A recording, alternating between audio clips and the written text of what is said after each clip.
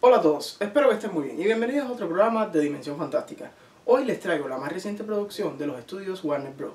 Me refiero a la segunda entrega de la nueva versión de Godzilla, titulada esta vez Godzilla el Rey de los Monstruos.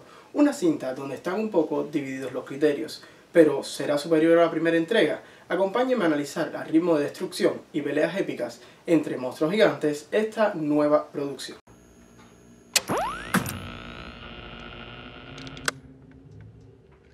Hello? La película, como ya dije anteriormente, es la continuación de la cinta de Godzilla que vimos en el 2014, que nos cuenta la historia de este popular personaje, que tiene juguetes, videojuegos y lo más conocido, unas versiones cinematográficas antiguas que fueron el boom en su momento.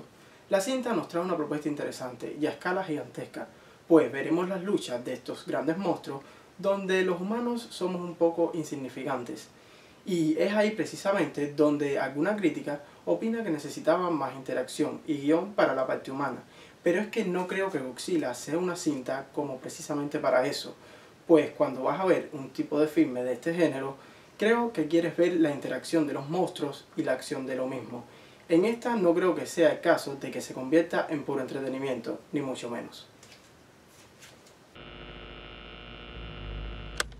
Is anyone there?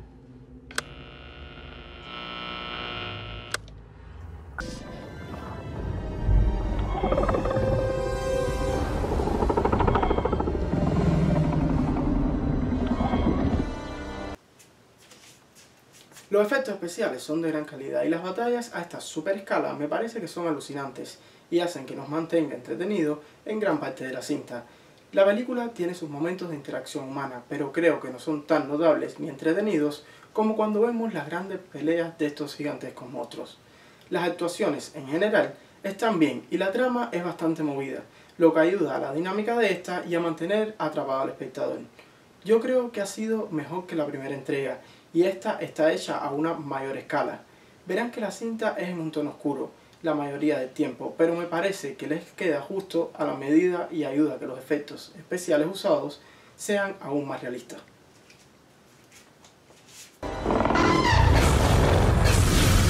Una cinta de gran calidad visual que nos trae unos monstruos a una escala gigantesca en unas batallas épicas donde la banda sonora la ayuda muchísimo y que nos mantendrá entretenidos durante sus más de dos horas de duración.